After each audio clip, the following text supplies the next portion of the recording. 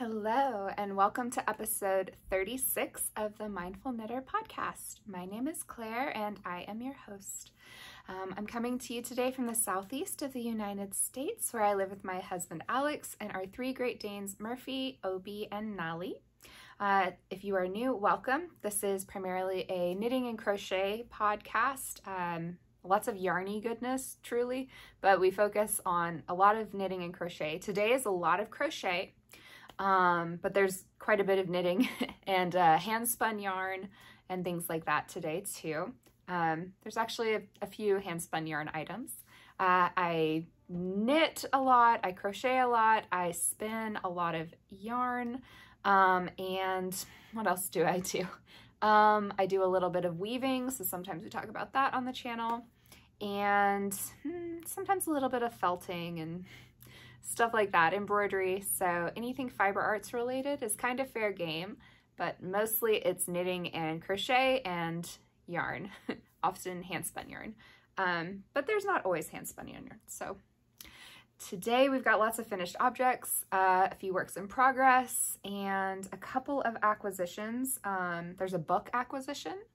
Um, yeah, maybe there's just the one acquisition, just the one book, I think. um, so that's kind of what we've got on the docket for today. I keep looking over here because I have this basket. Here's all the stuff that I'm showing you today. So if you saw last week's episode, I had so many finished objects because it had been a couple months since the last podcast. Uh, so I had a lot of finished objects to share with you guys. I have a few this week too, um, and then some works in progress as well. So it's just my hands have stayed very busy lately, um, which has been a blessing. I've been really happy I've been able to do that. Uh, and if you're a returning viewer, I didn't say welcome back, but welcome back if you're returning. I am so glad that you come to hang out with me. Um, if you want to connect on social media, you can find me on Ravelry as Mindful Knitter Pod and on Instagram as the mindful knitter. And if you ever need to email me about collaborations or with questions or um, anything of that nature, then you can find me uh, or you can email me at claire the mindful knitter at gmail.com. Feel like that's all of the intro type stuff. Um, hmm, we'll just kind of get, well, so that our format for today will be kind of our normal format. So finished objects first, of which I have so many, most of which are crochet, but there are definitely some knitting finished objects too. Um, and some hand spun. Uh, and then I've got some works in progress. Mm, I think all my works in progress are knitting today. And then I'll show you the book I got. It's a knitting related book and I'm super excited about it. And I guess we'll do a little bit of chat at the end as well. I feel like there's something else we're going to do today that I had in mind. I can't remember what it was, but we'll find out together because I'll remember as we go. So we'll just dive into finished objects, shall we? So my first finished object, oh, and if you do have any questions about any of the yarns I talk about or the designers or um, anything of that nature, then all of that is in the description down below the video. All of my social media information and, and like email and stuff, that's all in the description as well. So if you just click uh, more below this video, it'll open a drop, uh, not really a drop menu, I guess just a drop screen and it has all of my show notes. So you can find dyers, designers, yarn, patterns, all that kind of stuff down there. I guess I'll just mention very quickly too what I'm wearing. Oh, I talked about this last week, not last week, two weeks ago, uh, but I didn't show it to you on because I was wearing a different finished object. Uh, so this is a just kind of make it up as you go sort of crochet top that I made this summer out of silk yarn. Um, it's a silk fingering weight yarn and I just completely made it up as I went. I used a, I used the chain on number from a different pattern. Um, but other than that, I just basically knit, two rectangles and I made a little like meshy lace kind of the thing up here and then I seamed them together. So nothing super fancy. Um, but I should, I told you guys I'd show you what it looks like on. So this is what it looks like on. It's lower in the back than in the front. So you can kind of see that. And it's just very flowy. And since it's silk and since it's crochet, it is so cool when it's hot in the summer. Um, we've got the little like mesh, mesh lace going on. Yeah, so just super comfortable. And it's kind of on the warmer side here today. It's not super warm. It's like in the 80s. But this is very comfortable to be wearing in the house today. so um, when I go back upstairs, I might put on a sweater. But for down here, it's very comfy. So very airy, very light and breathable. Um, and I really enjoyed this crocheted summer top that I just sort of made up. And you could probably make up too because it's just two rectangles. you seam them together. I used one skein of yarn for the front and one skein of yarn for the back. And that's all she wrote. So my new finished object for today, or one of them, we'll start with a knitted one.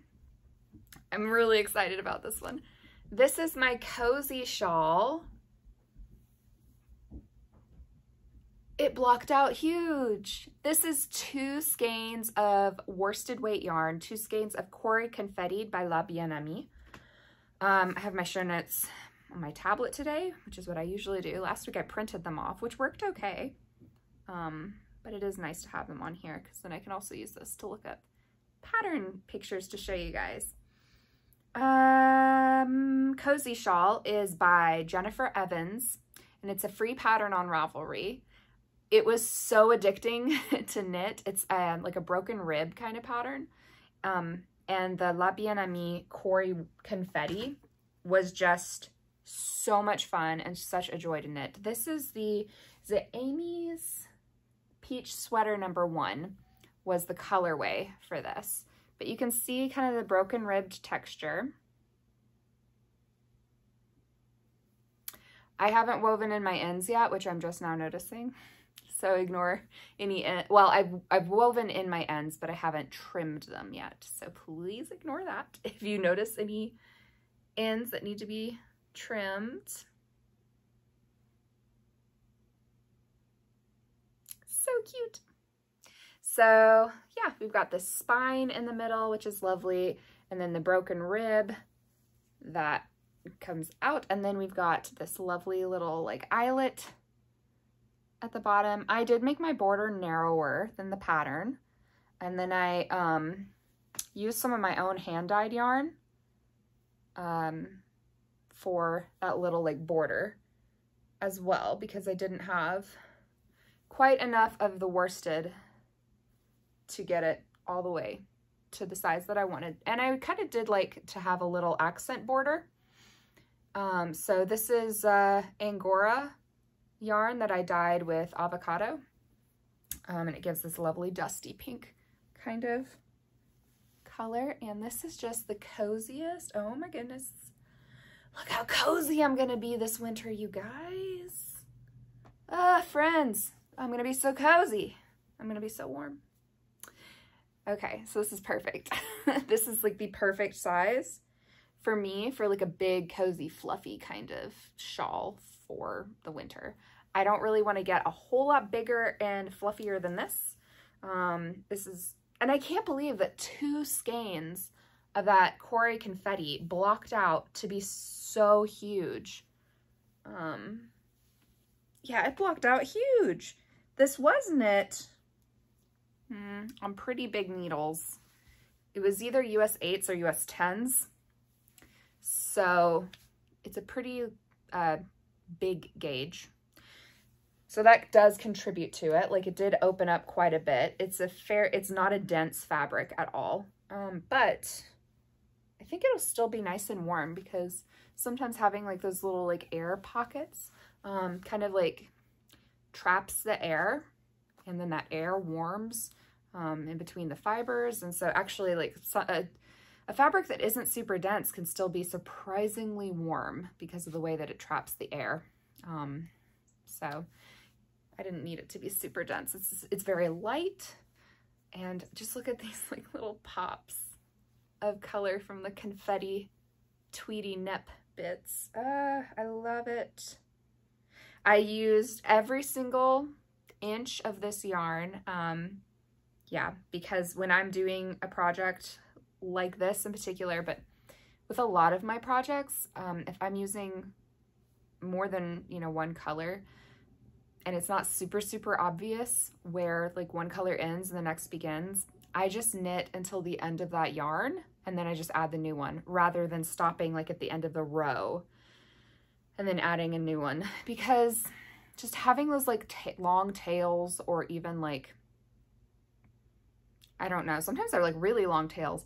That just annoys me for some reason. If I don't need to do it, then I won't. Uh, I want to use up every single ounce of the yarn that I can. And so that's what I did. Um, I just knit it until it disappeared and then I added on my pink and um, yeah, like on one side, I think the border is like one row wider than the other side, but you can't, you can't really even tell. You certainly can't tell when I'm wearing it. So that's my cozy shawl. And it is very squishy and nice. That broken rib really is. Um, like it's a lovely texture to look at, but it also is very squishy which is so great. I'm just really pleased with the shawl. I could talk about it for a long time. Um, the fabric is really light since it's only two skeins of worsted and um, and the way that this yarn is spun, it's a pretty open spin. It's like a, um, it's like a woolen spun kind of yarn.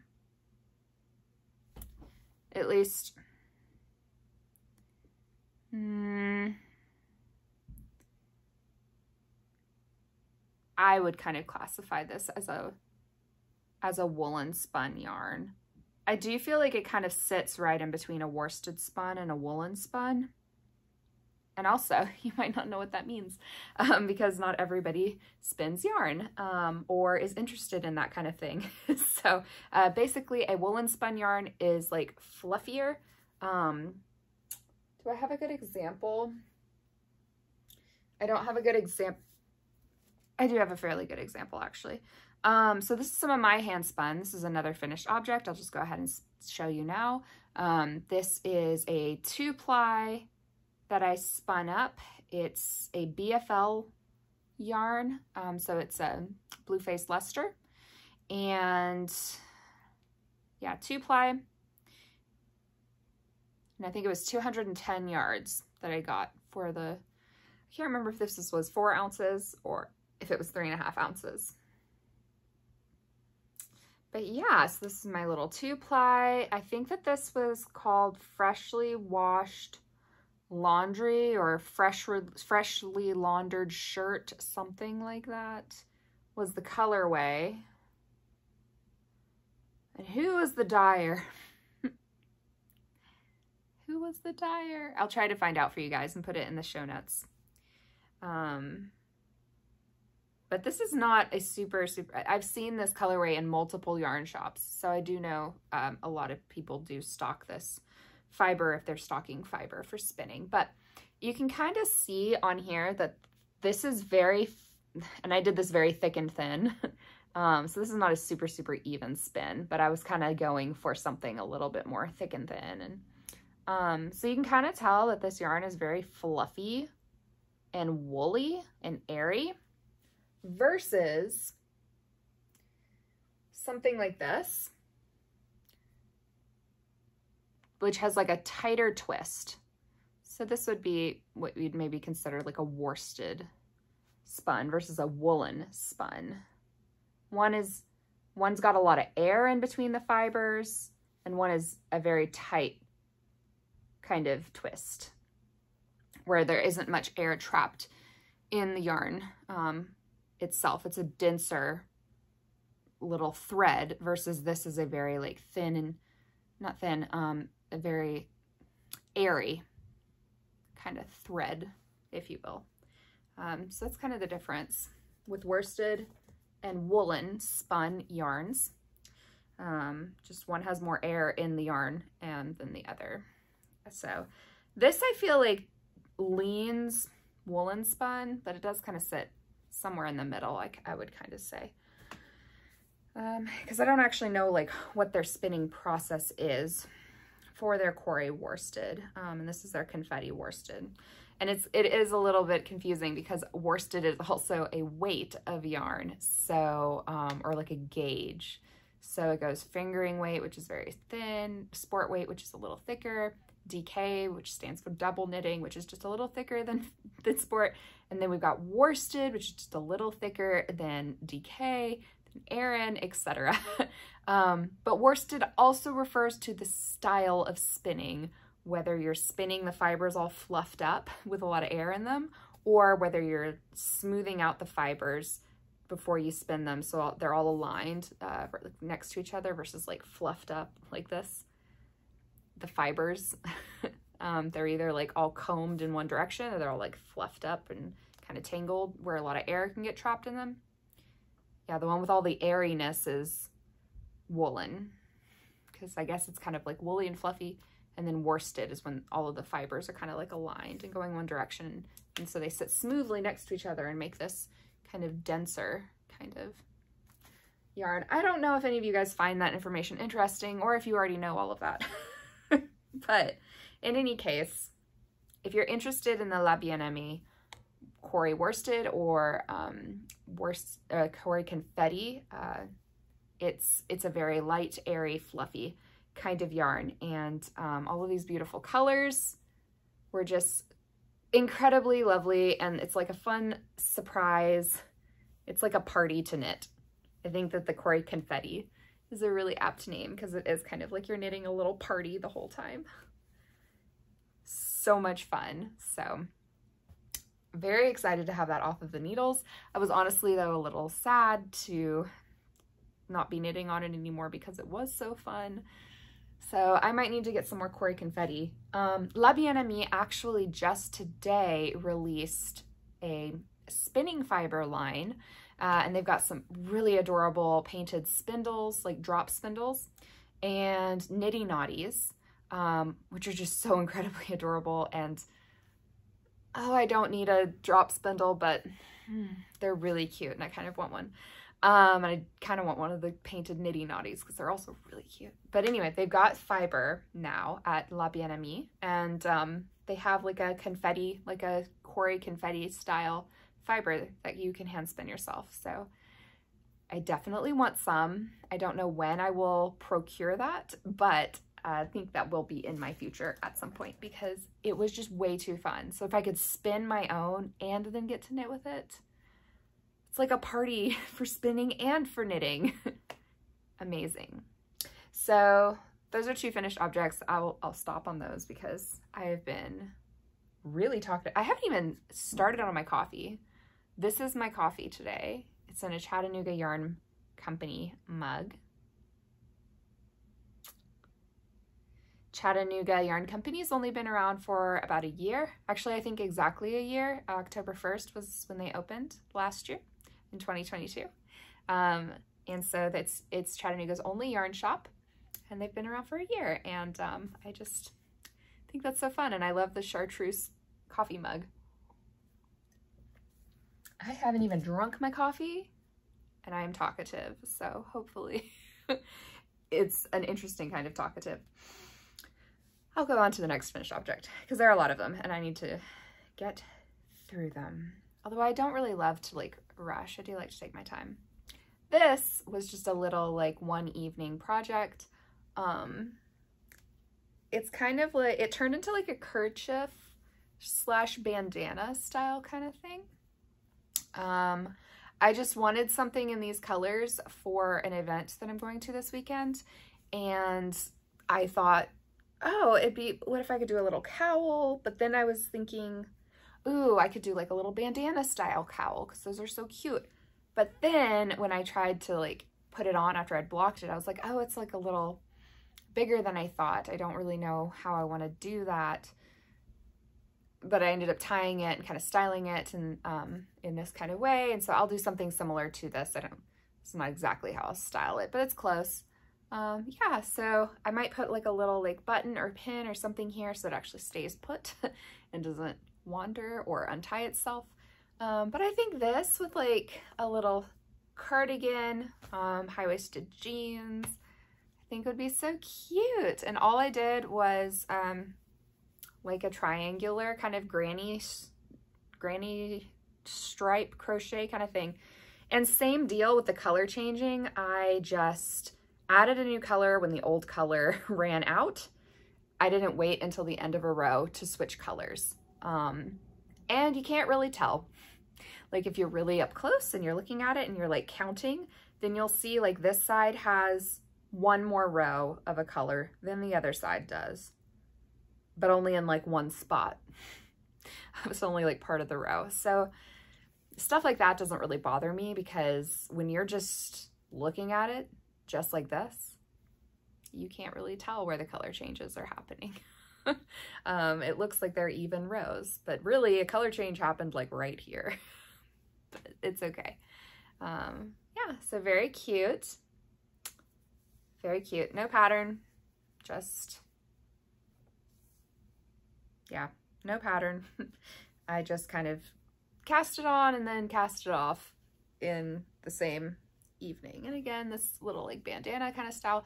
Um, La Bien Aimée actually does have a pattern called Le, Le Bandana or Le Ban. I do not speak French even remotely. Um, so it's Le Bandana. I'm just going to say it with an English accent, not an English accent, an American accent. Um, and it's such a cute pattern. You may have seen it if you follow La Bien Aimée on Ravelry or Instagram or anything. Like you've seen this pattern because it pops up all the time because I think it was published this year. Um, and she's just had so many different samples knit up in it. People are knitting this thing left and right. Uh, and so it's about this size and it often does get styled this way where it's just kind of tied around the neck and then kind of just shinked over to the side.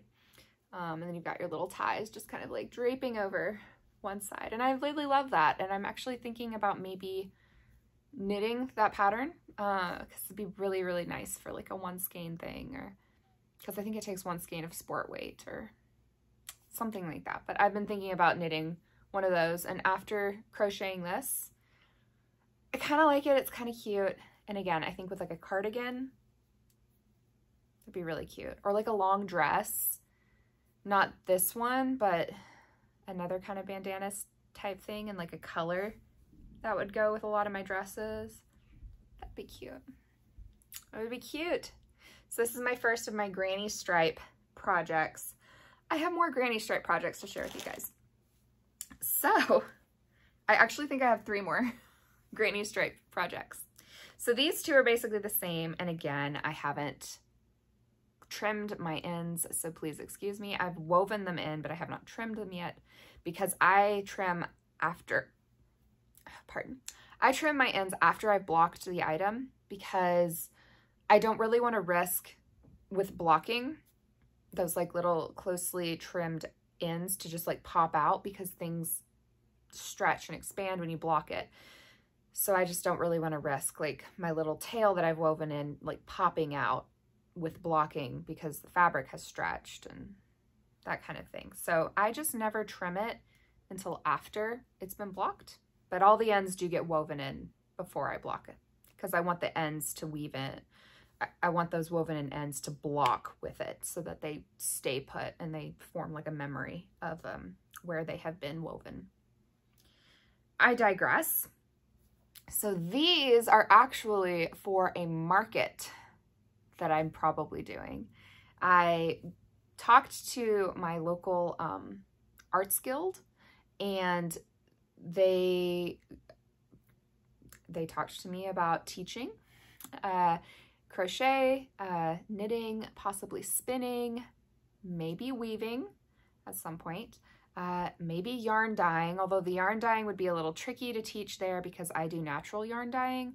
So that'd be a little hard to teach there because I would, anyway, to make the dyes, I would, I, I need like basically a kitchen. Um, and it takes kind of a while. Uh, so I could probably teach a workshop, but I don't know, maybe not the yarn dyeing so much, but yeah, I am talking to them about teaching some classes there for fiber arts, which is really, really exciting. And uh, while we were talking about it, um, and we went over some ideas for some classes that I would maybe teach this winter. They asked me about vending at their holiday market because they're artists and they're teachers and then some other local artists and crafts people in the area um, will get together and they'll do like a holiday market at the Arts Guild. So they asked me about that and I said, oh, that would be really nice. I'll let you know um, because their vendors don't have to apply for another several weeks. So I was just going to see what kind of stuff I could get together um, to vend. And if I've got enough stuff, then I would tell them, yeah, sure, I'd be happy to be a vendor. Um, I could sell handmade items, but then also um, hand-dyed yarn and hand-spun yarn. And that could be fun. So most of the items that I'm wanting to sell there would be crochet items. Very, very few knit items because knit, knitting takes so much longer. Um, I know that I'm not going to be like making a lot of money here. It's mostly just kind of recouping, basically helping pay for my hobby a little bit. Um, so I would mostly be doing crochet items though, just to make it a little bit more, um, I guess financially savvy. Uh, the crocheted items take a lot less time to make. And also, it's cool that you can only hand make crochet items. You cannot machine make a crocheted item um, because of the way that it's done in knots versus with knitting, it's done in loops. Uh, so crocheted items have to be handmade. You, you can't really buy them easily at the stores because um, unless they're being unethically sourced, they're probably not going to be at a store. Uh, you would only get them from someone you know or making them yourself or getting them at a craft fair. So I figured it's fun to offer crochet because people, only people can hand make crochet. So what better, what better item to have for a craft fair? Uh, if you're fibery. uh, so I made two granny stitch cowls this is actually really cute. Part of me wants to keep this, but I don't need to. If it doesn't sell, then maybe I'll keep it. um, so we've got this one. This one uh, was my first one that I did, and it ended up being a little longer. And I know a lot of people like it a little longer like this, but I am not one of those people.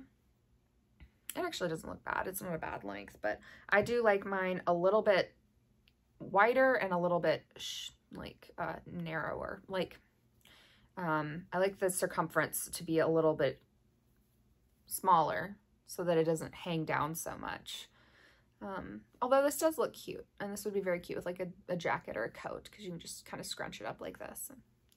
These are made with Knit Picks Suri. It's the upcycled Suri alpaca yarn from Knit Picks. They've only got the four colors, so You've got this burgundy-ish color, and then you've got this navy color. Each of these took two skeins, and you can see the length difference here. So this one is a, a bit longer. I like this one more for the construction. So any future ones I'm doing, I'm doing with that stitch count.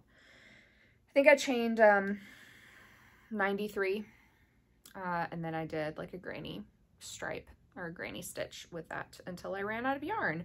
This was like a 103 and then I just went in the round till I ran out of yarn. Um, and then I did like a little single crochet edging on both of them. This one I held fingering weight triple. And this one uh, I just took like something, this was from scraps. And then this one was um, just some sort of leftover, I think it was a Lion brand, maybe acrylic. That was just scrappy leftovers from something from years ago.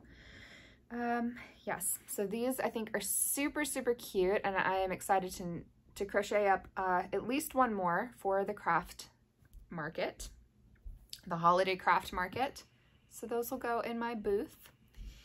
Uh, anything else to say about this? I don't think so. I can't remember the crochet hook that I used. I think it was a five millimeter. It may have been a little bigger because this is supposed to be worsted weight for the Suri alpaca, but it it works up a little fluffier than that, so I sized up my hook size. Um, but I'm excited about these, and I think I'm also going to be crocheting some hats I'd love to crochet some mittens and I would love to embroider on them. I'll talk a little bit about embroidery on knits in a bit. Um, but yeah, more cowls, hats, mittens. I think I was going to do a, a, try to do a couple of uh, like fingering weight crocheted lace shawls. Those would be a little bit like bigger ticket items because those would take longer. Um, but yeah, so I wanted to have a little bit of an assortment of handmade items that were ready to wear for all of the people that either don't craft themselves or maybe they don't, well, who don't crochet themselves, or maybe they just don't have time, or maybe that's, that's not the kind of item they would want to make for themselves. They'd ha be happy to wear it, but they wouldn't have fun making it. So wanted to make ready-made items for people that weren't going to crochet it for themselves, but I'm also going to have hand-dyed yarn, naturally, naturally dyed yarn, um, and hand spun yarn for people who are into fiber arts themselves. So I'm gonna have a little bit of a variety, but it'll be a very fibery booth. I think I might be the only fiber artist there. Um, I'm not sure, but I think I might be the only fiber artist at this craft market. There might be one other. I went to this market many years ago, like many years ago, and I cannot remember. I know there was one person that had shawls, but I want to say that it was, um, they were like fabric, like cotton or silk or something that she had dyed, or I don't remember anything that was like woven or crocheted or knit at that market that year, but I don't know. It was a long time ago. so, okay, next finished object so that I stop getting distracted and I keep things moving. We have a little shrug that I crocheted. This is not granny stripe. This is, it's double crocheted. Yeah, I think this is called, is it like the flat iron stitch or like the iron stitch? I can't remember, but basically it's double crochets and you just do it singly and then you do it doubly um, to get kind of like I don't know, like an alternating kind of like fabric here. And then if we've got a ribbing, crocheted ribbing that was, I think this is a single crocheted rib, which I think looks really nice and neat. it makes a lovely dense kind of rib. It, I, I liked this ribbing quite a lot and it lays very flat and nice. this pattern was the Sidewalk Shrug by um, Hooked on Homemade Happiness is the blog, and you can get it for free on the blog. So Hooked on Homemade Happiness, the Sidewalk Shrug. I made this in three different yarns. Um, it took a whole skein of Malabrigo whole grain. Uh, I did the fingering weight held double because you needed worsted for this pattern. And then the pinkish the pinkish yarn is Knit Picks Upcycled Alpaca Worsted in linen. This is not the Suri worsted. This is just their alpaca upcycled worsted, which is um, alpaca, wool, and acrylic. And it's um, upcycled from, you know, leftover stuff at their mill at Knit Picks. And then the third yarn that I did was this gray. And this was a yarn that I got at a farmer's market a couple years ago. Mm. I can't remember what a sheep type, but um, yeah, basically the, the shepherd was there and he sends off his fleeces to a mill and it's mill spun, um, but from the fleece from a, a farmer that lives in Madison, Wisconsin.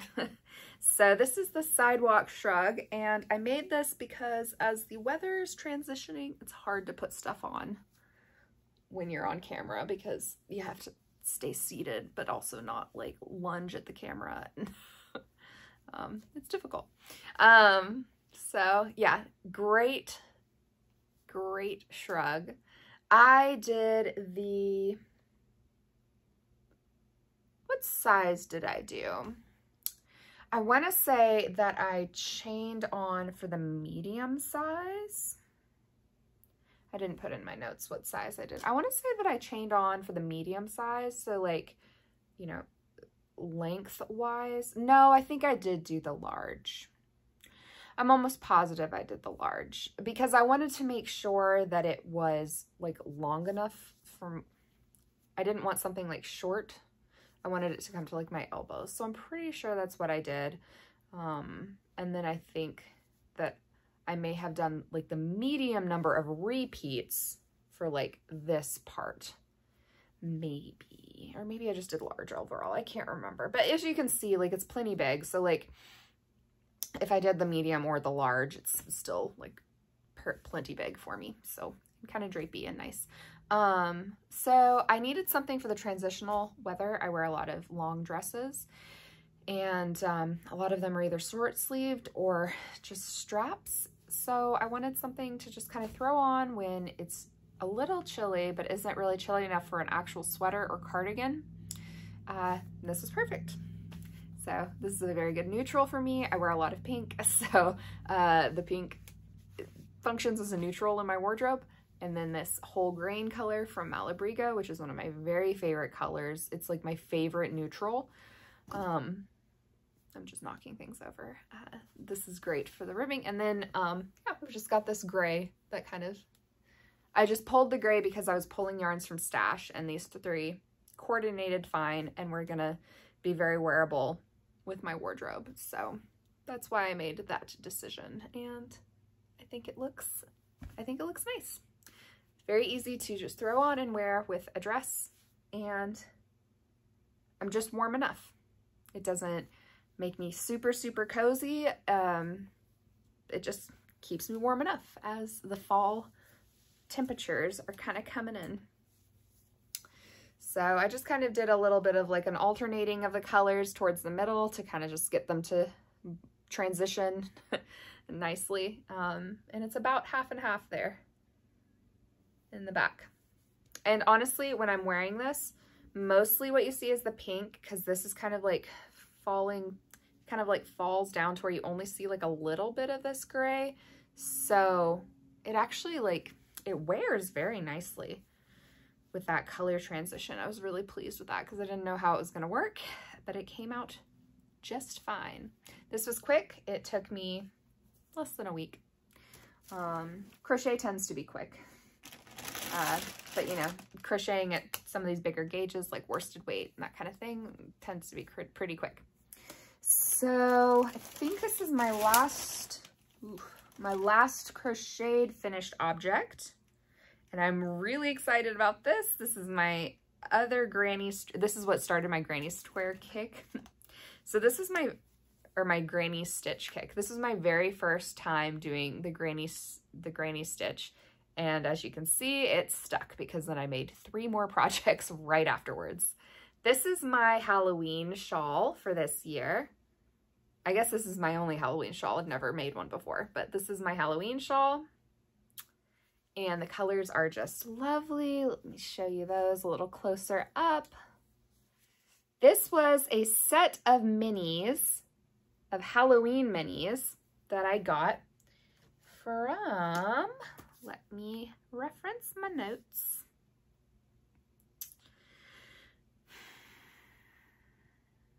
Haunted Woods mini set from Tsuki Mountain. They're on Etsy and Tsuki is spelled T-S-U-K-I, and then mountain is just spelled like mountain. Um, but they are on Etsy. So the Haunted Woods mini set, and this was a fingering weight mini set. I got this mini set last year and then um, just got busy. Oh, I was busy doing the MKAL, the Stephen West MKAL last year, so I didn't that's a whole other thing. Um, we'll talk about that in a minute. but um, I was busy doing that, so I never got to make any of my Halloween stuff last year. I take that back. That's not true. I did make one pair of socks. Um, so I just went ahead and I did this in September this year, and I did this in about 24 hours. Oh, it was while I was sick. I got I got sick in September, and I was sick for like a week and a half, and um, yeah, I couldn't go to work for a week. I basically just sat in the chair and didn't really move for like a week. uh, I only got up to feed myself um, and make tea and that kind of thing. It was a little pathetic. but I got a lot of crochet done.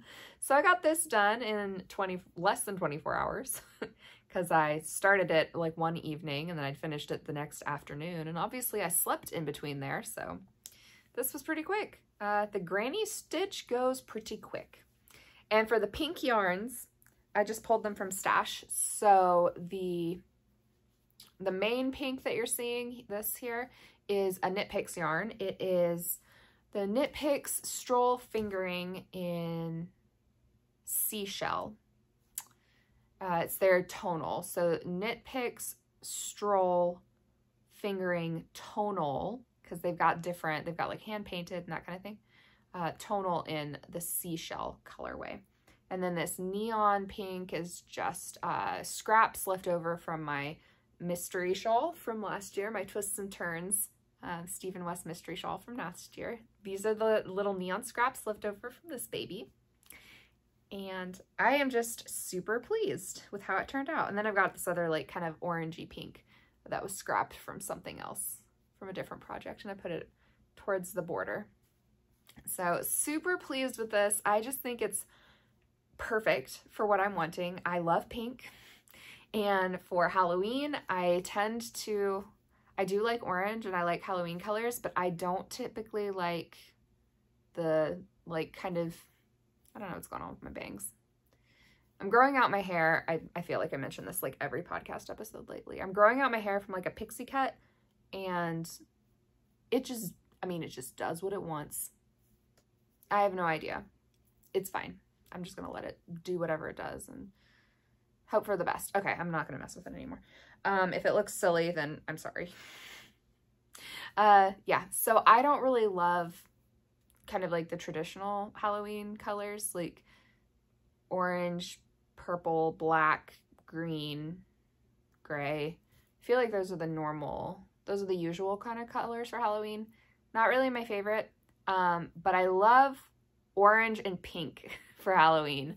Uh, orange, pink, and gray for Halloween is perfect. So that's what we've got here. So this is my Halloween shawl. And I just really couldn't be any happier with it. I love it in the granny stripes. I think that that just makes it look very, very charming. Um, and I think it is so incredibly cute. So here we have it. So cute.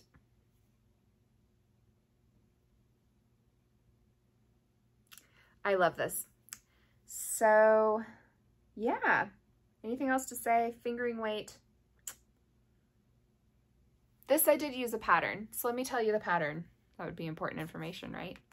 Okay, so the pattern I used for this was half a granny square shawl. So, and this is a free pattern on Ravelry. It's the half a granny square shawl by Church Mouse Yarns and Tees. Again, all of this information is in the description down below the video. Um, but yeah, that was this guy.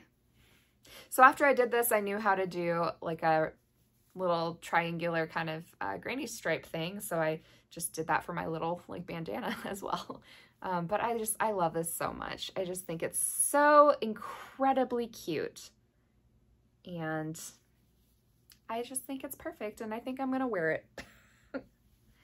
I think I'm just gonna wear it for the rest of the podcast because it makes me really happy. How cute. Okay. It's so cute. All right, so I think I've got just a couple more finished objects to share with you guys. This guy is little and I love him. Look at this guy. How cute is he? So cute. I love him. He's so cute. His name is Gnewt, so spelled with a G. And he's been my little friend. Like, he's my little companion. I kind of take him around the house with me sometimes and just set him down uh, so he can hang out with me while I'm doing stuff. Um, most of the time, he sits next to my knitting chair and keeps me company while I'm crafting. But I love him. He is amazing. He sits perfectly flat so cute. I love him. the pattern for this is Imagined Landscapes. They've got lots of gnome patterns, and this particular pattern is Gno Fun Like Gnome Fun. Um, and the no fun is spelled with a G, so G-N-O, no fun, like gnome fun. Uh, they designed this pattern, I believe, to be just a very streamlined version of their gnomes. Uh, and this really is a no frills, streamlined kind of gnome. I've knit um, one other gnome from them. It was the Gnome de Plume. This guy, actually. So this is my Gnome de Plume so cute with his little leaf hat. Oh my goodness, they're friends. Oh, they're cute. I can't with these gnomes. They're so cute. Okay, so um, this guy, as you can tell, with his hat and his leaf and his beautiful like leafy beard, he was a little less streamlined. Um, he's got a little bit more detail going on. So he took a bit more effort to make. He took a little longer to make. He actually took significantly longer to make. Um, he was well worth it though. I love him. This guy took like two, two and a half hours to make. Very streamlined. Uh, it, you start from the top and you just work your way to the bottom. You don't have to seam um, anything here. The hat and the body are all one piece. Um, you just change your colors here. And then you've got your little like bottom as well. You don't have to seam, it just decreases. And then you've got your little arms, you've got your little nose and beard, which is also all knit in one piece, so you don't have to attach stuff. So this guy's really streamlined and um, this is the biggest size. There are three different sizes and styles of gnome within the one pattern, which is great. Um, and they give you tips on how to help him like stably sit flat so he's not falling over. It's, it's just a great pattern. It's basically three patterns in one. Uh, and they're quick little gnomes. So I've already made two of these. I don't have the other one though because I made it for my friend. She's She had a hard week, so I made her one in her favorite colors. And then I made Gnewt, um, and he is my little gnome friend, and I love him. So he's going to hang out right here for the rest of the podcast and keep us all company. I love him, and I don't think there's anything else to say about that. Uh, this gnome was knit basically on worsted weight yarn, um, which also makes him a little quicker. My gnome de plume was knit on fingering weight, um, so they really were very thoughtful um, and clever in the way they wrote this gnome pattern to where you can you can crank out uh, some gnomes with this pattern. And it's actually something I am considering for the craft market as well. Um, it's just making a few of these gnomes and seeing if anybody buys them. Because again, it took me like two and a half hours and I think they're really precious and I might do a couple in like holiday colors um, for myself, but then also for the market. We'll see.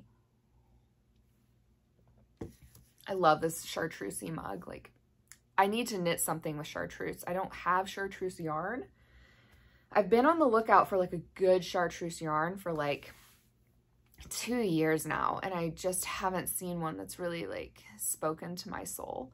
Um, but as soon as I do, best believe I'm going to be knitting something chartreuse. Probably will have pink in it too, if we're being honest. But maybe not. I don't always do pink. But speaking of pink, my last, I think this is the last finished object. This is more hand spun yarn. I'll just share it with you guys very quickly. This was my Tour de Fleece spin. So I'm a little late in, in the game and showing it to you, but I did finish this for Tour de Fleece.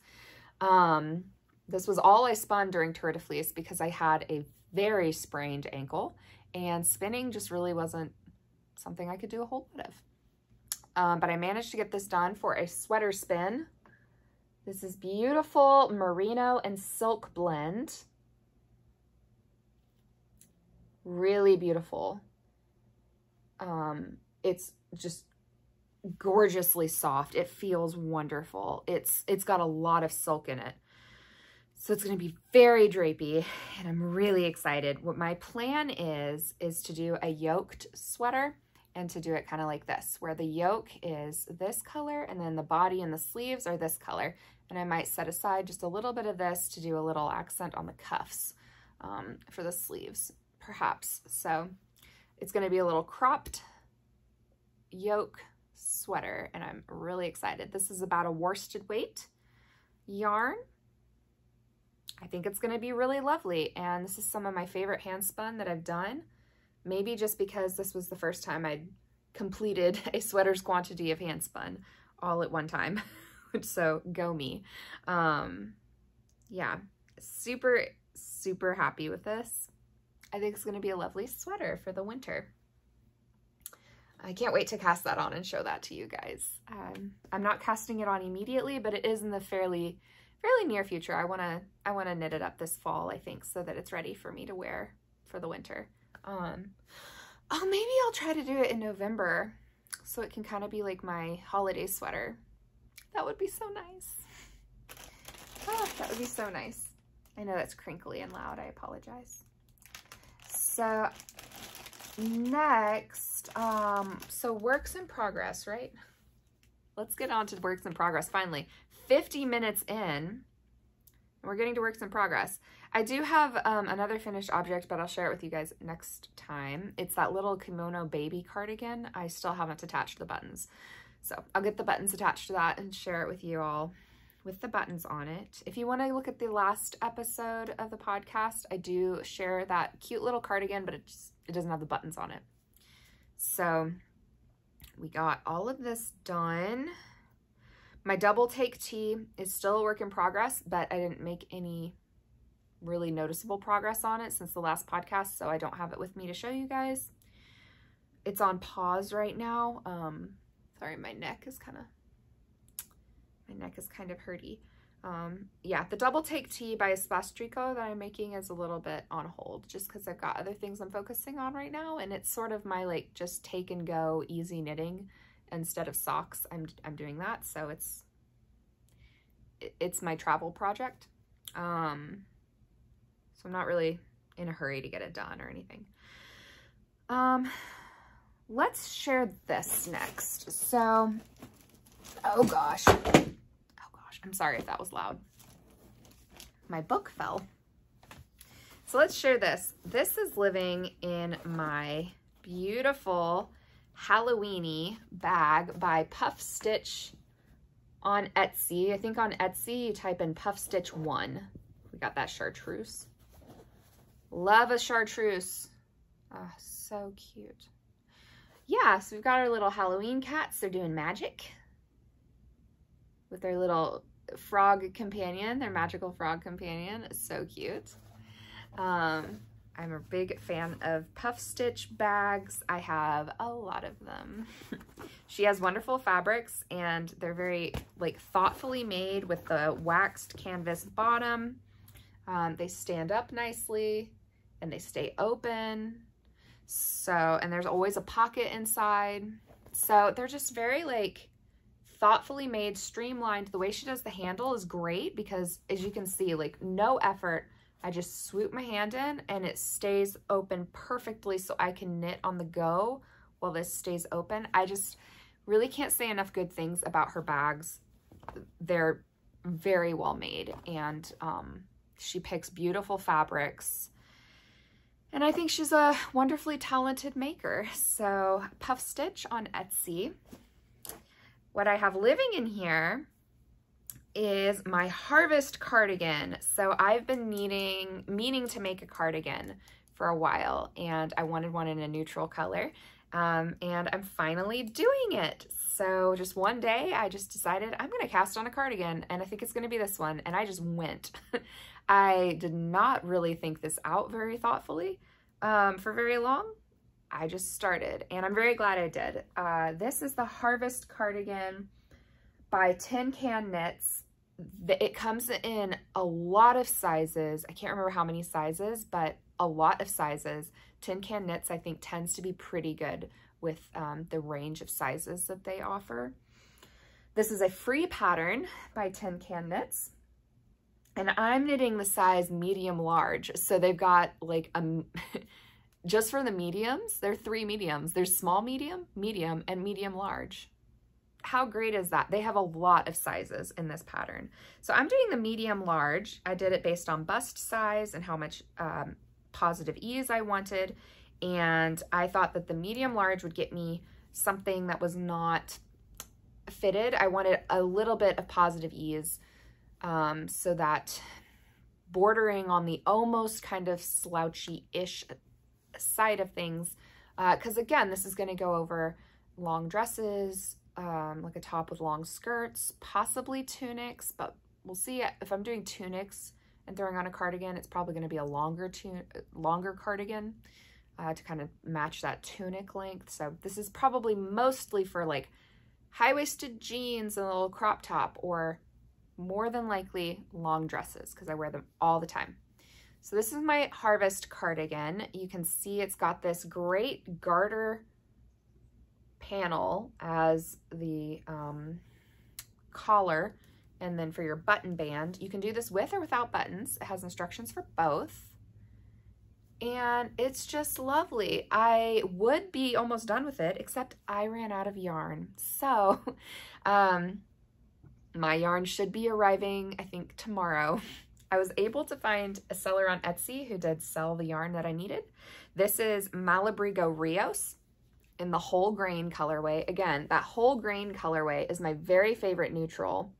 It's a little bit gray, a little bit mushroom, a little bit beigey. It's got a little bit of pink tone in there or mauve. Um, it's just, I think it's the perfect neutral. And I think it'll be really nice. I don't think it'll wash me out because it's a cardigan, so you'll be able to see whatever I'm wearing, you know, under it for a little pop of color. But I ran out of yarn, so this is two skeins of Malabrigo Rios. I ordered another three skeins because I wanted to get free shipping. um, and they were on sale. So I was like, three skeins of Malabrigo Rios, 25% off and free shipping? Yeah. And I only got three skeins, so be very proud of me that I didn't order more. I was like, I'm just getting what I need and then the free shipping because um, getting like a skein extra is not going to go to waste because this is my favorite neutral. I'm gonna, I'm gonna use it for something. Maybe pair it with something like a neon pink or something. How cute would that be? Um, these are my little needle stoppers. These are also from Puff Stitch. And um, look how cute they are. They're little nitty foxes. Oh my gosh. So cute. Let me see if I can. There we go. So cute.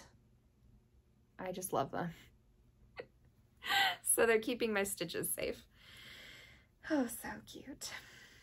Yeah, nice little raglan style. You can see the raglan increases here. And Malabrigo Rios is just beautifully soft. This is a wonderful tonal bordering on a neutral variegated yarn and I just think it's going to be lovely. I don't have a whole lot farther to go on the body because I am doing a cropped cardigan. I've already got one buttonhole done.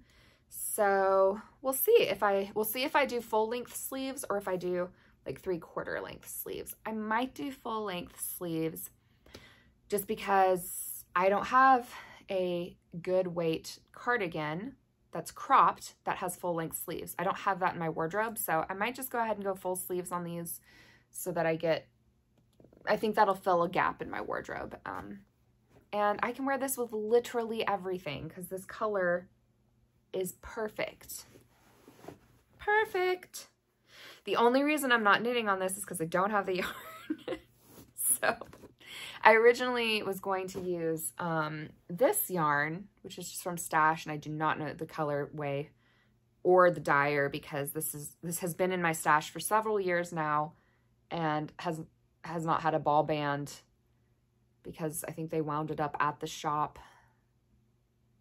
I don't know. So several years, I don't know what this is. Uh, but I was going to pair that with it. But after I saw how the neutral, how this um, whole grain colorway was knitting up, ugh, I just was like, no, I want the whole cardigan to be this color. I was trying to bust stash and instead I got more yarn.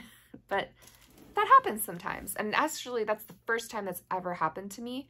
Usually if I'm knitting from stash, I just knit from stash. And if I um, have a, like a quantity for a project, like I typically have enough for that project and if I just need a tiny bit extra, I just pull from stash. I have never actually ordered yarn for a project I'm in the middle of because I was running out of yarn. This is the first for me. So part of me feels like I have crossed over some sort of like milestone. Um, and uh, this is an experience a lot of knitters and crocheters and crafters have. Uh, and I haven't had it yet. So yay, I'm part of the club. Um, so I'm excited it'll be here tomorrow. I don't have too much longer to wait. Yay. I love that cardigan. I can't wait to show it to you guys. Hopefully it'll be done in the next podcast and I can show it to you then as a finished object. How amazing would that be? Let's see here. Okay, we're getting close to the end. This is a new cast on. I cast this on for my husband. He has never asked me for a sweater. He has never wanted a sweater.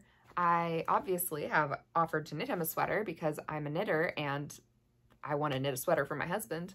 Um, maybe that's not obvious. Maybe not everybody wants to do that, but like I wanted to knit a sweater for my husband, but he's very warm-blooded and um, he does not get cold. He, yeah, he just loves hand knit socks. So I knit him socks fairly regularly. And then I've I've knit him a, a scarf. I knit him some uh, fingerless or like short fingered um, gloves for fishing last year. I've knit him a couple of things, but it's usually accessory like. Well, he finally wanted a sweater and I was like, oh, glory be. My husband wants a hand knit sweater. Point me in the direction of the sweater that you want and I will make it for you. Well, what does he want but Petite Knits Moby's sweater, which has cables.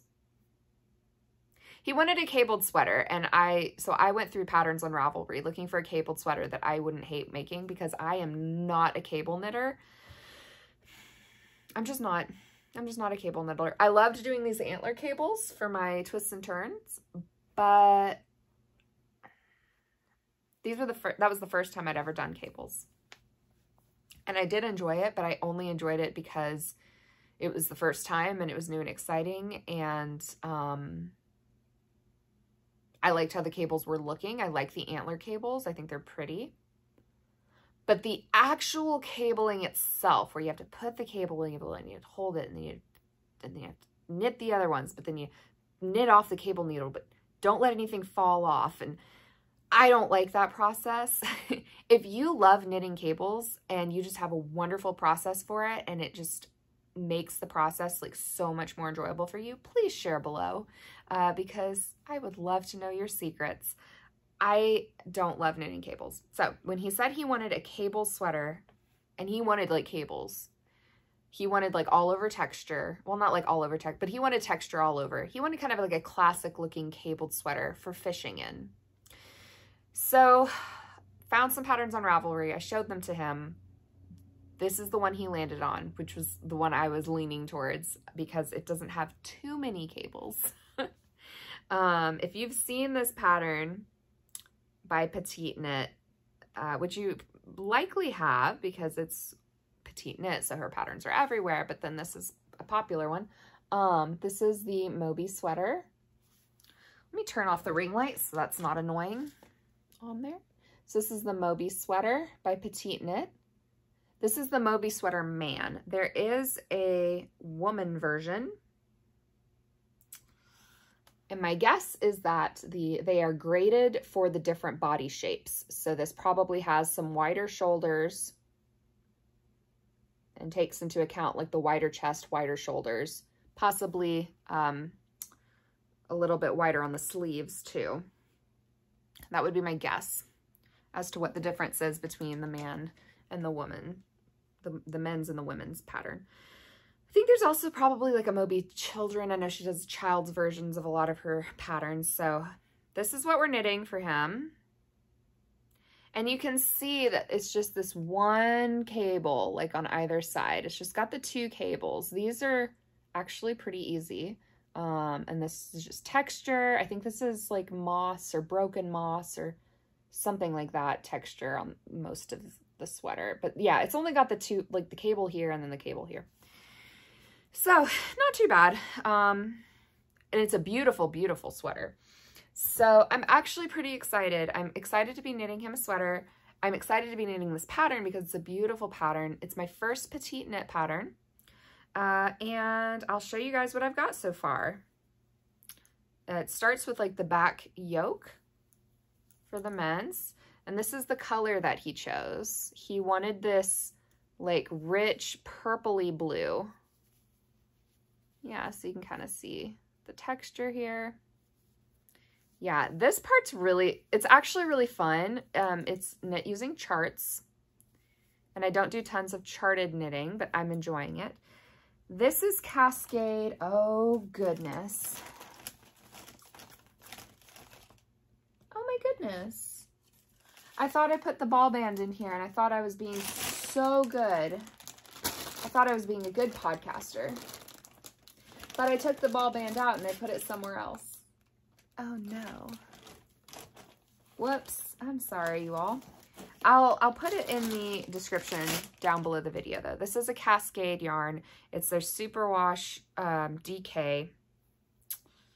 And I'll find out what it's actually called and um, the colorway name. But you can see that it's a dark, rich blue with a bit of a purple heathering.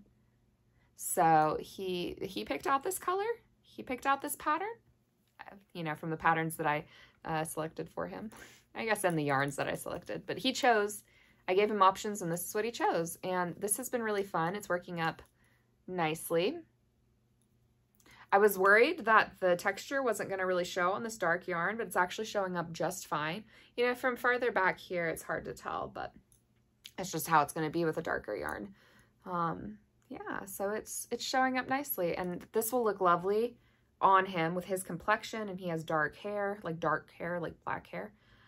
Almost black. It's like the darkest brown. Um, it looks black until he gets in the sun, and then you can kind of see like a little bit of the the brown tint to it. So yeah, this will look great with his complexion. He will look beautiful and he will be cozy and warm. I picked a DK pattern for him since he does tend to be pretty hot. I didn't want to do something any heavier than a DK because I didn't want him to just burn up, but I didn't want to do anything lighter than a DK for me because I didn't want this to take six years to knit. So I think a DK, very textured, cabled sweater for him. Feels like a gift. I'm going to see if I can get it done for the winter holidays. Um, it might turn into like a Valentine's Day present. so we'll just see how long it takes. I'm not really in a big rush. And I told him, don't expect this to be done quickly. This is not my usual style of knitting because of the cables and because of the charts and so it's going to take me longer. And he's a huge man. So I think that this is, I think for his size, it's either 9 or 10 skeins. Uh, so either 900 or 1,000 grams of DK weight yarn. So it's going to take me a bit. That is going to take me a bit to knit. And I think it's knit on US 6s. Yeah, it's knit on US 6s. So it's to take me a minute, but it's fine. Uh, I love him. So, and I'm really happy he finally asked me to knit him a sweater. So I am excited about it. I, I feel like it seems like I'm full of chagrin, but I'm actually, I am excited about it. Uh, so it's a beautiful pattern and I think it's going to be a beautiful sweater and he's a beautiful man. So I think it's just going to be a beauty all around and it's going to be a beautiful experience. So I'm, I am happy about it. And it actually is really nice for, um, for some mindful knitting because it is very different from what I normally do. So I can fully immerse myself in the experience. Um, if I'm knitting from the chart, I, if I'm knitting from a chart, I typically am doing it undistracted. So I don't have music. I don't have a video playing or an audiobook, like nothing. I'm knitting in silence and I'm reading the chart and I'm paying attention to my stitches and it's a beautiful, mindful experience. Um, kind of first thing in the morning is really nice. Um, when the world is quiet and all I have is my chart and my yarn, I really do like that. So it's just going to take a while and I think I'm a little stressed with the size and I feel like I want to make sure it fits him, but I measured him four, five times and I changed my mind about the size three times. and I feel very comfortable with the size that I chose to make for him based on his preference for ease and um, his measurements. Um, and I measured him many different ways. Shirt on, shirt off, arms up, arms down, um, in the morning and the evening. Um, and I did it over the course of several weeks. And I took all those measurements and I made a decision based on that. So I think it's going to be really good. And it is fun. Um, I am now at the part where I need to start using the cable needle and I've been putting it off for like days because I just don't want to do the cable needle, but I'll watch a YouTube video on cabling and I will refamiliarize myself and who knows, maybe after the sweater I will love cables because I love these cables, but I didn't really love doing them. I was very happy when that section was finished in the MKAL last year. All right, so last work in progress, I think. Yeah, last work in progress to share with you guys. Um, I'm hosting my own make-along this year for the Stephen West Mystery Shawl, or the Mystery KAL, MKAL, Mystery Knit-Along. So, I talked about this in the last podcast. We do have a few people that are in our little make-along group now, and we are having a lot of fun. Uh, and we are going to be having a knit night tonight on Zoom at 7 p.m. Eastern time. So if you want to be part of our knit night, I know it's short notice, but if you want to join in, let me know. Um, like either, uh, so direct message me or email me. You can direct message me on Ravelry or Instagram, or you can email me and I can send you the Zoom link and you can join us for knit night tonight or a sit and stitch because it's not just knitting. So the make along I'm hosting is for all of us who love the Stephen West mystery knit along, but maybe we are making the shawl, but maybe we just want to spectate. I'm calling it the spectator make along because I loved doing the mystery knit along last year, but it also stressed me out quite a bit more than I was anticipating. I think it was mostly the chevron section as the first clue that really got me. But um, in any case, uh, I didn't really want to do that again. Um, I wanted to be part of the mystery knit along atmosphere and enjoy kind of like the party time because it's like all of November or all of October is like MKAL season and it's so much fun and it was so much fun last year. Um, but the amount of knitting was unattainable for me, like the amount of knitting that was required every week to keep up I know there's not really a keep up with it. Like you just, you know, embrace your, your own pace, as Stephen says. Um, but for me, it was a little hard to not feel pressure and stress. Um, it took me 10 months to finish the shawl. And I don't love that as somebody who tends to just like get their finished objects like out. Um, I am a process knitter, but I tend to not be working on tons of things all at one time because I like to finish the stuff I'm working on. So the fact that this took me so long wasn't my favorite. Um, I I liked the mystery aspect of it, but this is not a shawl design that I will tend to wear a whole lot because it's just not a style I will tend to wear a whole lot. And I like to make things that I'll use. So for all of those reasons, I decided I'm just going to spectate this year. I'm going to watch everybody make their M, M shawls, their mystery shawls, they're Geogradient shawls. And I'm going to watch all of Stephen's videos. Um, every Thursday morning, I'm going to watch his video and knit, but I'm not knitting Geogradient. I am knitting another of his patterns. I'm knitting the Dotted Rays shawl, um, which is has been around for years. Um, it's an old design of his. Let's see if I can pull it up. Um, and it's very like soothing. It's like a garter and eyelet lace shawl and it's just extremely unstressful. so it's this guy. You've probably seen it. This is the Dotted Rays. And I pulled from Stash um, a fade. So this is a stripy version of it, which will be kind of similar to my fade. I've gotten through one of the mini skeins. Each mini skein is 20 grams. I've gotten through one and I've started the second one today. And this is my little dotted rays that I've got going on. I did cast on the night before instead of the morning of cast on for the MKAL. Um, and I've been taking this with me everywhere. This is all I've been knitting on for two days, and I've been taking it with me everywhere. So like every time I get 5, 10, 15 minutes, I'm knitting on this shawl. so I've gotten uh, 36 grams. I've knit 36 grams of, of 200 so far. So I'm making good time. but I love it, and it's so soothing. Um, the yarn that I'm using for this is Emma's yarn, and it's one of her theme packs. This is the Sweetheart theme pack. So it's this beautiful fade from that cream into like pinks and yellows, and then all the way into this like beautiful, beautiful dark burgundy kind of wine color. Gorgeous. Um, so much fun. And as someone who loves color and who gets bored kind of easily, doing something like this with 10 colors is just perfect. Um, so the soothing garter and eyelet pattern uh, is just very relaxing. Um, this was not relaxing. This was a roller coaster of emotions. Um, this is very relaxing. So I'm watching everybody do their Geogradient. I loved seeing the first clue yesterday while I was working on my um, alternative Stephen West pattern. And I'm making a gradient Stephen West shawl, but it's not the mystery shawl everyone else is making.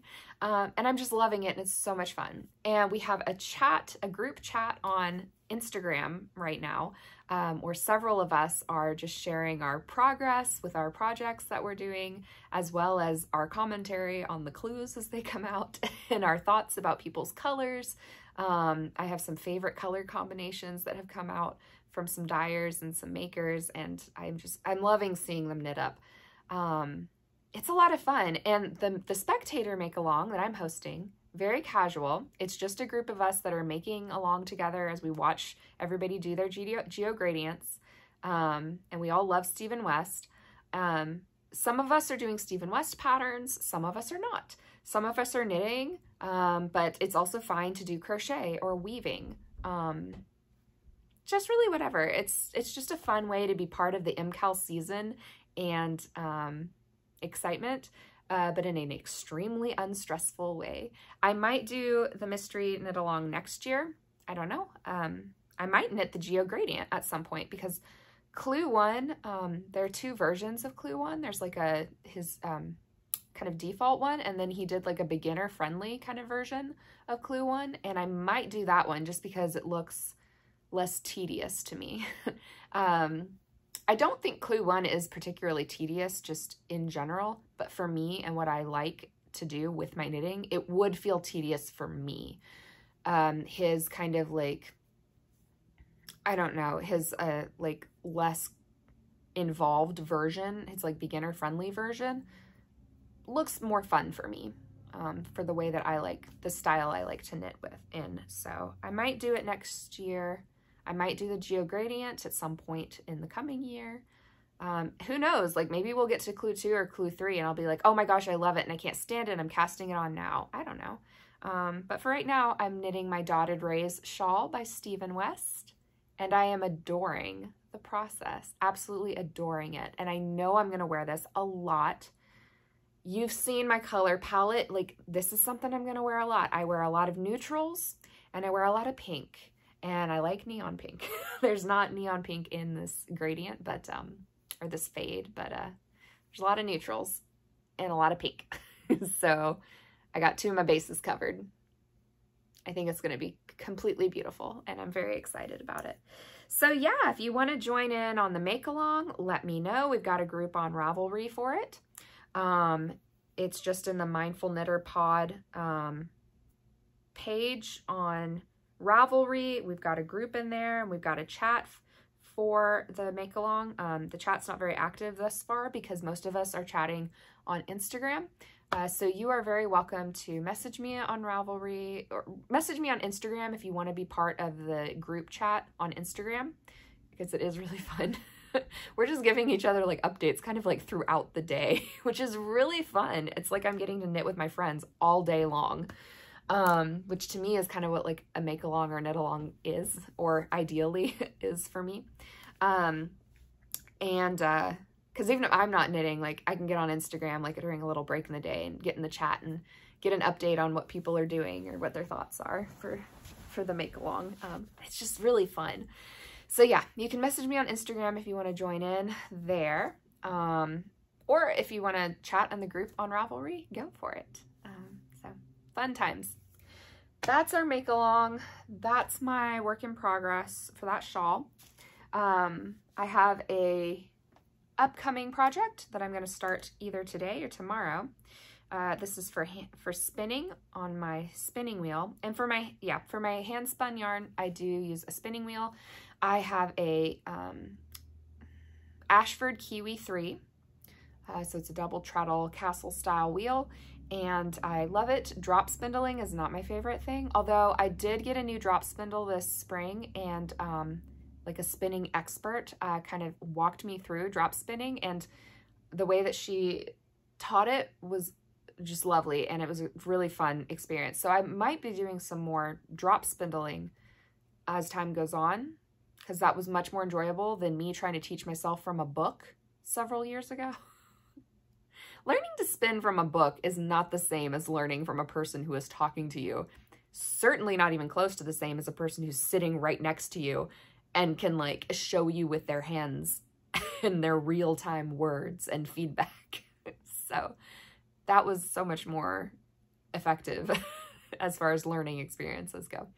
So anyway, my hand spun though, uh, the vast majority of it, basically all of it, is done on my spinning wheel.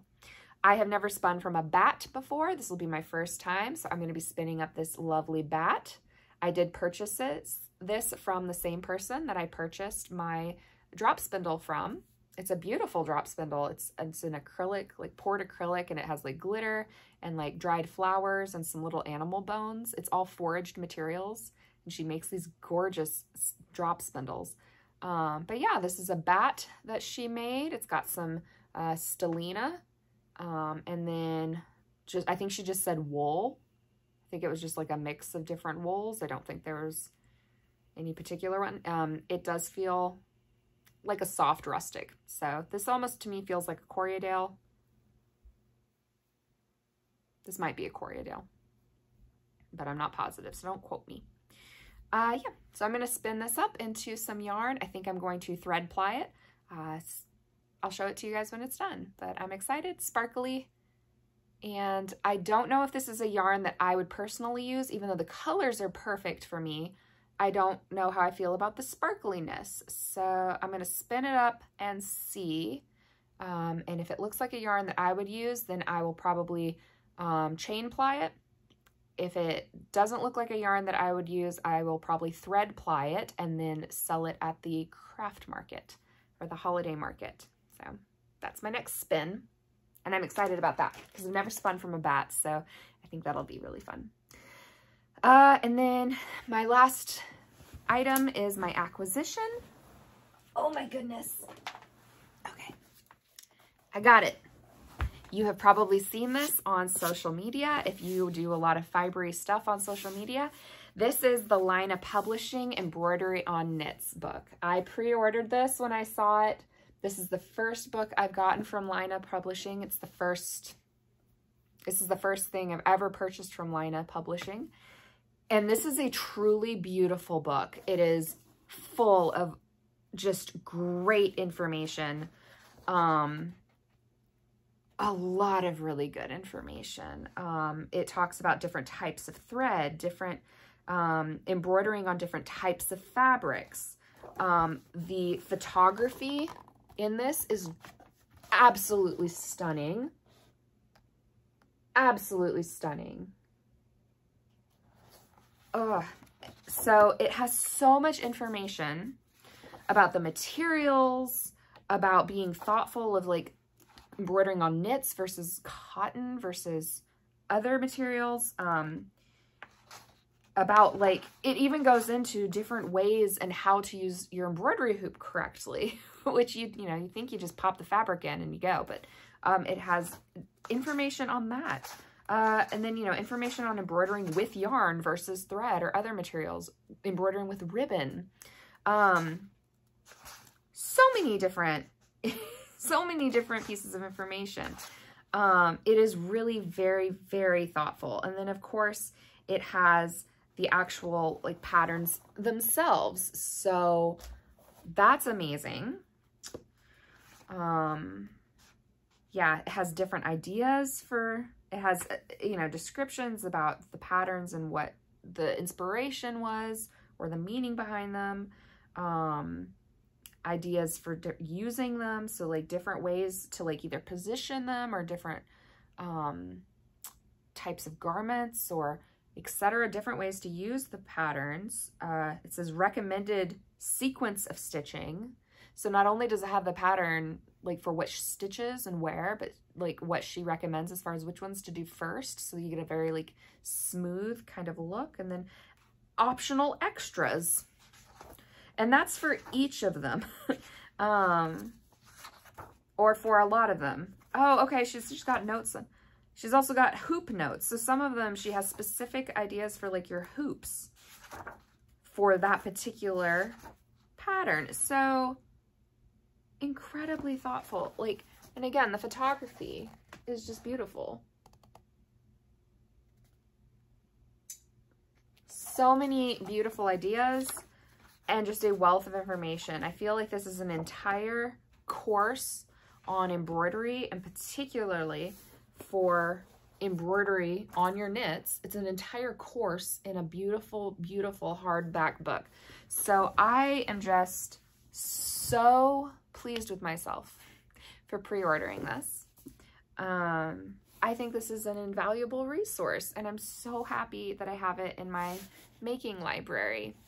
Um, yeah, this is something that, you know, for generations could be used. Like my nieces and nephews and their kids, I mean, they could all use this for like years because it's just, it's such a good resource. So absolutely beautiful book. I'm really excited about it. Very excited about it, as you can probably tell. Um, and yay for my very first purchase uh, from Laine Publishing. They make some quality stuff. no wonder they're so big. I want to make sure I'm not forgetting anything for today. Let me double check. Books, make along. I did get another book, but I didn't bring it with me. So, and also I had plenty to talk about today. So it was probably unnecessary. Um, while I'm thinking about it, let me show you a picture of the Harvest cardigan by Tin Can Knits. Um, just so that you kind of like get an idea because uh, I realized I didn't show a picture of it when I showed you mine. So here's the Harvest cardigan. This is without the buttons and they just closed it with like a shawl pin, which is really pretty. And they've got the different lengths. So um, yeah, some people knit it kind of like like long, almost tunic length, and then this person just did one button and did a very cropped, almost kind of shrug style cardigan. Um, yeah, really beautiful pattern. And it's free. Uh, and they do have the child sizes and they're really cute. Oh my goodness. The child versions of things are is always adorable. So I think that's what we have for the projects and things. So if that's all you're here for, then thank you so much for joining me. I hope that you had fun. Uh, comment down below with any questions that you might have or any feedback or just to chat because I always love to chat with you guys. Um, yeah, so thank you if you are just here for the fibery things. I will see you next time. Uh, and if you want to hang out for a moment just for a little bit of life chat, then yeah, we can hang out for just a few minutes more. Mm. What's going to be going on the last two weeks? It's been a lot, but I can't remember anything that has happened. Uh, hmm, I should make notes. I said last time I should make notes about like live chat update things, and here I am. what am I doing this weekend? This weekend, I am going to be doing some things with Alex. We haven't really hung out, just the two of us, um, for like some like good quality time together in months. So we're going to do that this weekend and I'm looking forward to that because uh, he is pretty great and I miss him. so um, we are maybe going to the aquarium, uh, which is always fun. We are members of the aquarium, so it's it's great to go hang out with the fish. He actually had this really sweet idea. He said um, that he could bring a book and I could bring my knitting and we could like hide in one of those like alcoves where you're like surrounded by the water and the fish and you're just kind of like in a little alcove and we can just hang out there for a while and just knit and read together surrounded by fish which i thought was a really good idea uh, so i think we might do that um, i think that we are also going to be going to this restaurant i found in chattanooga recently with a friend. It's all um, local. Um, i wish i remember the name. It's something something miel. Maybe a, a flor de flor de miel, maybe? Something about flowers and honey. Um, it's pretty new. It's a meadery slash restaurant, and all of the restaurant uh, food is locally sourced from local farmers. Uh, so their ingredients are beautiful. Their presentation is beautiful. Their flavor combinations and their uh, preparation is beautiful. It was a beautiful experience. So I'm taking him there um, because we both like good food and they've got some good food there. And I think he might enjoy doing like a little tasting of the mead there because it's, it's a little more on the dry side. So not really my style, but I think he might enjoy that. Um, so that'll be fun. We're going to an event with our friends on Sunday. Um, and I think we'll also be going to the farmer's market. And farmer's market has Oktoberfest going on right now. So that's really fun. Um, let's see. So that's happening this weekend. And I'm excited about that. We've got our Zoom knit night tonight at 7 p.m. Eastern time. Just a, a little reminder for that. Um, I'm looking forward to seeing some of my crafty friends that I haven't seen in a few months. I've missed you guys. Um, we've chatted online and we've texted and stuff, but uh, I've missed seeing your beautiful faces. Um, and then next week, I'm going to New Mexico. So, um, yeah, I don't know if any of you guys are out there, uh, if you know of any good yarn shops for me to check out while I'm there, but I'm going to be in Albuquerque next weekend for the Balloon Festival because my best friend, uh, is, well, one of my best friends, uh, she has been wanting to go to this balloon festival for years and years. So we're going to go. And uh, then we're going to, you know, do some Albuquerque things and then head down to some national parks. So we're going to look at White Sands National Park and then Carlsbad Cavern National Park. And then we're going to go down into Texas and go to Guadalupe Mountain National Park. So we're going to have a whole big adventure and I'm very excited about it. I need to figure out what I'm taking to knit on the plane and in the car, because we're going to have a rental car because we're going to be driving all over New Mexico. um, so I need to figure that out. I don't know if I want to take my Stephen West shawl, my dotted rays. Maybe I'll take my double take tee. That'd be good to get to get some stuff done on that. Hmm. We'll see. I'll figure it out. I might have my cardigan finished by then. Um, and a cardigan's a little bulky, so I'll figure out what I'm taking on the plane. But I think my double take tee is a good option um, because I'm just using one skein of fingering weight yarn at a time.